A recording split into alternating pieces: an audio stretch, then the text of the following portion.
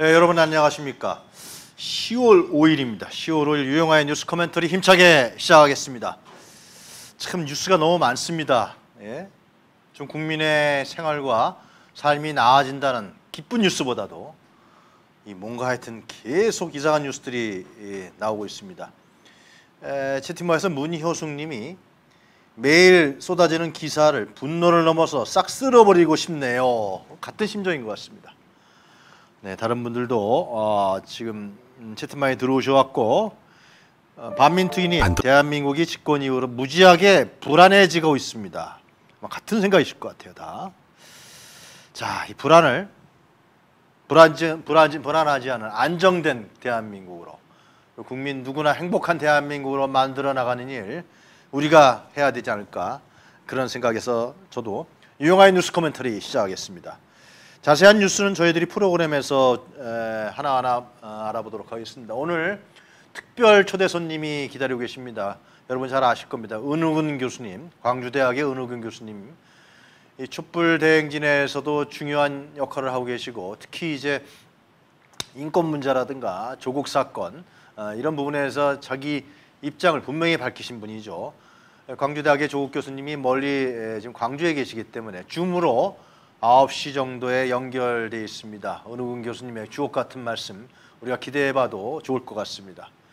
그리고 어, 저는 바로 어, 서울의 소리에서 조사한 여론조사가 있습니다. 이 여론조사를 중심으로 해서 코멘트 뉴스를 진행할 생각이고요.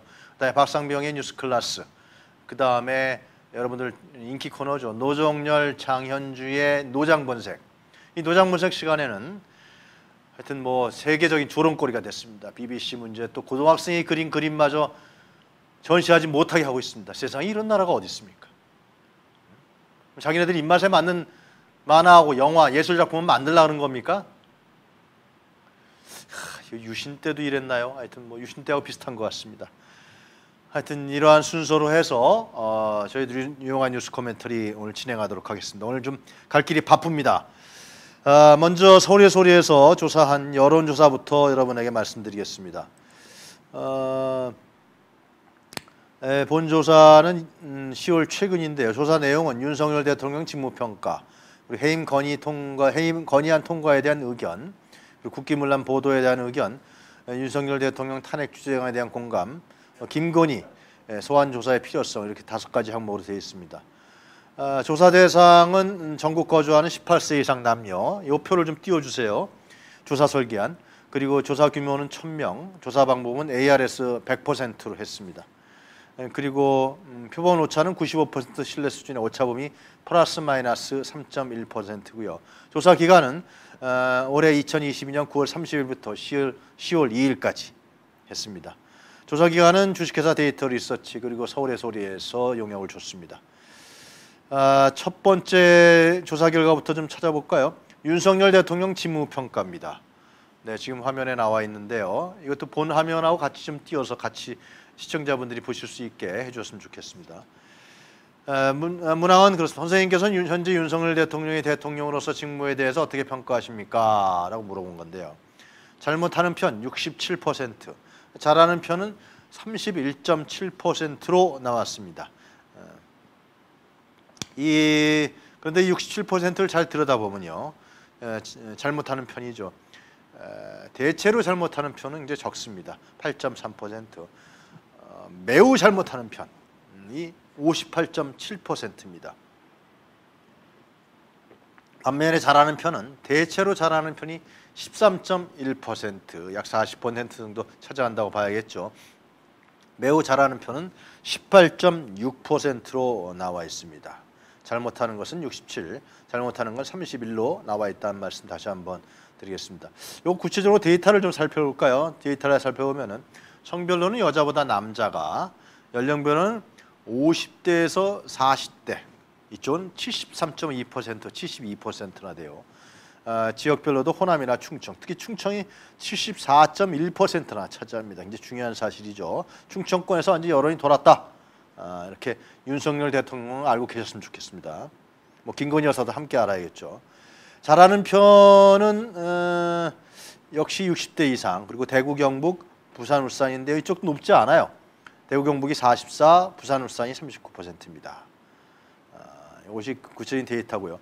두 번째 질문항은요. 해임 건의안 통과에 대한 의견을 물어봤습니다. 대통령이 에, 해임 건의 해외 순방 전반에 책임을 물어서 더불어민주당이 박진 외교부 장관 해임 건의안을 통과시켰는데 이에 대해서 어떻게 보십니까? 물어봤어요. 해임 통 해임 건의안 통과를 잘했냐 못했냐 이거죠. 잘했다는 것은 56.7%입니다. 잘못했다는 것은 39.3%입니다. 민주당이 오래간만에 잘한 것 같습니다. 국민의 지지를 받고 있습니다. 여기도 보면 이제 잘한과 잘못함 중에서 매우 잘했다 그리고 대체로 잘했다 아, 그리고 대체로 잘했다 매우 잘못했다 이런 정도로 나눠지고 있습니다. 아, 특성별 분석은 뭐 어, 이건 제가 건너뛰겠습니다. 큰 의미가 없기 때문에 데이터는 세 번째 MBC 국기문란 보도 언급에 대한 의견입니다. 어, 이 문항은요 지난 29일 정진석 국민의힘 비대위원장이 국회 대표 연설에서요 MBC가 국기문란 보도를 했다 이렇게 얘기를 했죠. 자 이에 대한 언급은 어떤가요? 공감하지 않는다 63.4% 공감한다 31.32.1%입니다. 그러니까 MBC가 국기문란 보도 국기문란 보도를 했다라고 얘기하는 여당의 대표 정진석의 말은 공감하지 않는다는 것이 60%나 훨씬 넘는 겁니다. 네. 자기들만 공감하는 것 같아요. 하여튼 간에 그래도 공감하는 견이 32%나 있다는 것 사실도 우리가 볼 수 있습니다. 아 여기도 좀 구체적으로 들어가면요. 어, 매우 공감한 공감하지 않는다가 53, 그럼 대체로 공감한다가 하지 않는 편이 9.5%. 이게 소수죠. 그러니까 상당히 불만인 거죠. MBC 국기문란이 에, 보도에 대해서 국기문란이다 MBC가 보도한 것이 이것은 공감하지 않는다는 것이 강하게 나타나고 있는 것을 우리가 볼 수가 있습니다. 좀 특성별 데이터 분석을 좀 볼까요? 데이터 분석을 보면은 어, 연령별로는 역시 40대, 50대는 70%가 넘습니다. 73.7%, 50대가 70.2%. 예, 광역별로도 충청권, 또 인천, 경기도 69%, 67%입니다. 상당히 강력하게 에, 정진석 위원장이 얘기한 부분에 대해서 아니다. 국민 정서를 전혀 모르고 틀리다라고 얘기하고 있다는 것입니다. 국민들이 네 그렇습니다. 그 다음에 네 번째 문항에 대해서 저희들이 알아보겠습니다. 네 번째는 최근 일각에서 제기되는 윤석열 대통령 탄핵 이 탄핵 주장에 대해서 어떤 생각이냐고 물어봤습니다. 탄핵을 공감하는 편이 56.3%, 공감하지 않는 편이 41%입니다. 지난주 저희들 김봉신의 여론조사에서도 탄핵 공감에 대해서 50%가 그때 제 기억으로는 한53% 됐던 거로 알고 있는데요. 그때도 ARS 조사였습니다. 공감하는 편이 56%. 아마 이 수치는 계속해서 올라가지 않을까 그런 예상을 합니다. 탄핵하라는 거죠. 이것이 이제 60%가 넘고 아마 70%가 넘으면은 정치권에서 국회에서 가시화시키지 않겠냐 그런 생각이 듭니다. 많이 이런 얘기들을 좀 음, 우리끼리 공감해야 되지 않겠냐 그런 생각도 듭니다. KBC 넥스트워크 리서치 조사에서는 52.7%였군요. 지난주에 저희가 소개해드렸는데 3.6%가 상승했습니다. 음, 마찬가지로 탄핵 공감에 대해서 대체로 공감한다라는 것은 8.4%니까요. 매우 공감한다. 강하게 윤석열 대통령을 탄핵해야 된다. 아, 그런 여론조사라고 우리가 볼 수 있을 것 같습니다. 야, 특성별 분석을 잠깐 볼까요? 연령별은 40대 그리고 20대 이쪽에서는 60%가 넘습니다. 에, 지역별로도 호남과 인천 20별로 넘고요. 어, 사무직, 전문직에서 60%가 넘습니다. 탄핵해야 된다는 의견이. 에, 우리 사회에 상당히 오피니언적 성격을 갖고 있는 사람들이 윤석열 대통령을 탄핵해야 된다고 생각하는 것으로 나타나고 있습니다. 자, 그 다음에 마지막 질문을 저희가 했습니다. 김건희, 김건희 여사 소환 조사 필요성에서 어떻게 생각하냐? 도이치모터스 주가 조작 사건이 공소시효가 다가오는데 선생님께서는 김건희 여사에 대한 소환 조사에 대해서 어떻게 생각하십니까? 이렇게 물어봤습니다. 필요하다, 여러분. 64.5% 나왔습니다. 김건희 소환하라는 겁니다. 불필요하다 32%밖에 안 나왔습니다.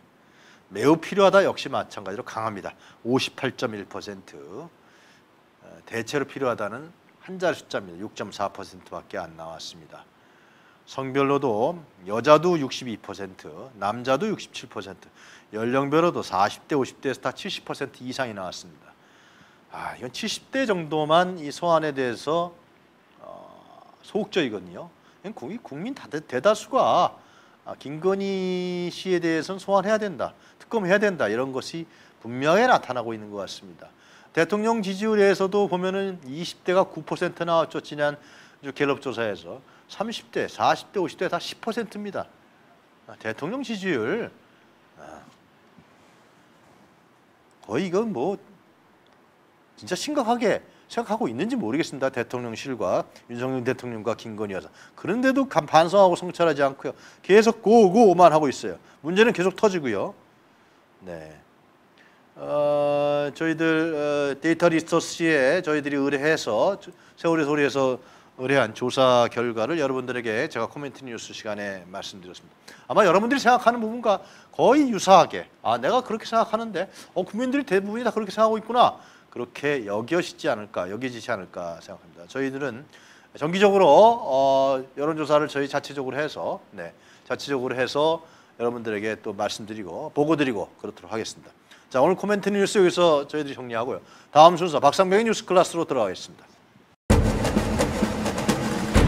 조심 백은종 그 투쟁의 기록 개벽이 출간되었습니다. 윤석열의 등장을 예언한 채 개벽 검찰공화국을 막아라 무소불위의 검찰을 그동안 아무도 건드리지 못했다. 검찰을 손볼 세력이 어디에도 없었기 때문이다. 하지만 뛰는 검찰에 나는 국민이 있다. 전두환 군부 독재와 이명박근혜 정권마저 붕괴시킨 촛불 시민들이 그따위 검찰 출신 나부랭이들의 복고에 굴하겠는가? 위기의 대한민국 윤석열 검찰공화국에 맞서 싸울 촛불 시민들의 투쟁의 지침서 조심 백은조 국가와 민족을 위한 그 투쟁의 기록 개벽 여러분의 지지와 성원을 기다립니다. 감사합니다.